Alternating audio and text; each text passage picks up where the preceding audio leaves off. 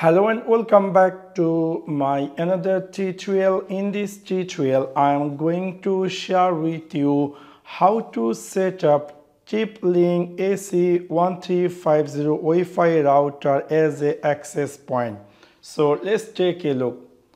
You might be recently brought this TP-Link AC1350 Wi-Fi router and somehow or some cases you would like to set this Wi-Fi router as a access and also you might be want to uh, customize the default uh, uh, username which is called Wi-Fi name and also you would like to change the uh, password. So all these things I'm going to share with you in this video. Now you can see I had successfully uh, plugged my uh, TP-Link router with the power adapter and also I have turned on and then after turn on we will see there will be a power on light indicator. Anyway, after uh, turn on you need to uh, jump over in your uh, desktop, laptop or whatever device you have or even in mobile device. So now we can see in our uh, laptop or desktop we will see the same Wi-Fi uh, name which is here written so we're going to connect uh, any of, uh, we will see there is a two Wi-Fi, one is 2.4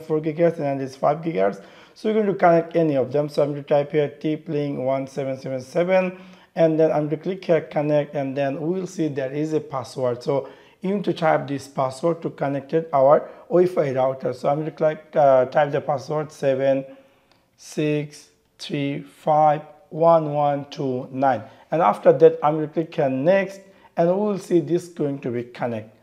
After uh, connecting uh, with our uh, desktop or laptop, whatever network with this uh, Wi-Fi router, we'll see here it's now connected. So we need to, if we want to uh, rename this Wi-Fi name or rename the default password or etc. all this setup, you need to jump over this uh, address bar, which is http forward slash tiplink wi-fi.net. So I'm going to uh, open my any web browser and then I'm going to type here uh, this web address. So I'm going to type here http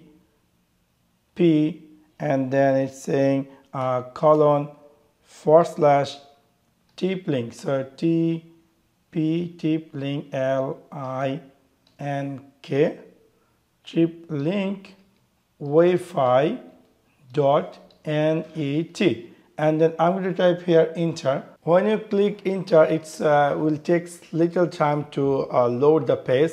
And now it's saying to please create an administrator password to manage your uh, Archer C60. So anyway, you have to, uh, this is when you turn on this uh, or set up this router for the first time you need to uh, type a admin password. So i'm going to type here my uh, remember admin password. So i'm going to type here admin password. Obviously you need to remember for because whenever future you need to modify your router uh, you need to log in through this admin password. Anyway i type my password and i'm going to click here let get start and now we will see this uh, uh, router uh, it's set up it's saying to uh, let's get start anyway. Now it will give you option uh, to uh, uh, uh the here is saying that please type uh, time zone. So i'm going to type here actually i'm currently now in riyadh.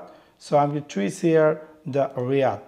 Anyway it's not selecting let me go again and select the riyadh. And then i'm going to click here next and then it's saying to select your connection type if you are not sure please uh, click auto detect so if you are uh, not sure you can choose auto detect or if you want if you want to make your wi-fi router some other way like if you have a like dynamic ip static ip ppp or l2tp or pptp whatever you want you can easily set i'm going to choose the dynamic ip and then i'm going to click here next after that it's saying to if you uh, if you ISP only allow the internet access to specific MAC address do not clone MAC address clone current computer MAC address. I'm to click here do not clone MAC address. I'm going to click here next.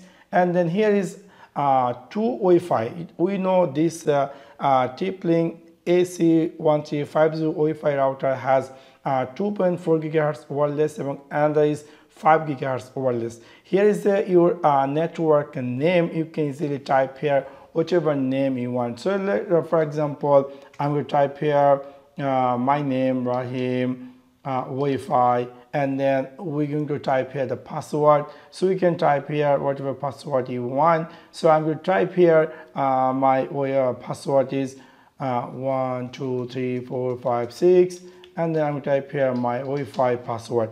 And here's the other 5 gigahertz wireless. If you decide to rename these two you can go here or rename this like uh, Rahim. Let me type here.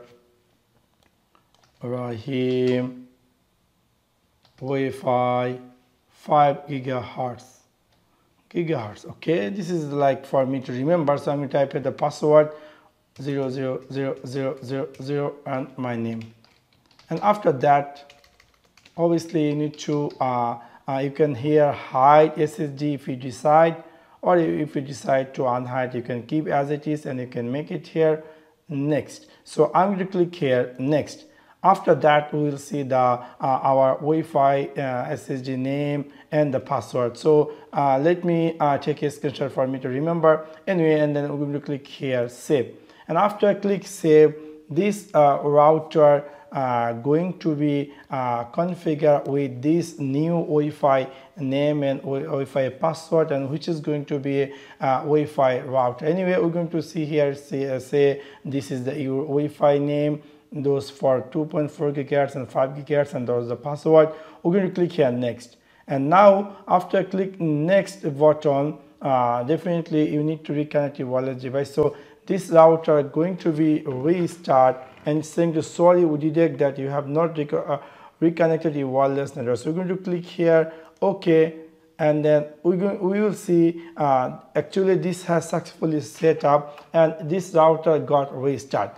Now previously this Wi-Fi router name was different and, and the new Wi-Fi router is different. So that's why it's got this kind. Anyway we had uh, done the work done. So now we're ready to go to start our uh, access point. Anyway, we're going to, if I go jump over available section, we'll see now we have total two Wi-Fi uh, name, which is uh, just now I had renamed my uh, TP-Link router name. So we're going to connect it with the password. So I'm going to type here um, my current password 000000 and then I'm going to type here the password and I'm clicking next.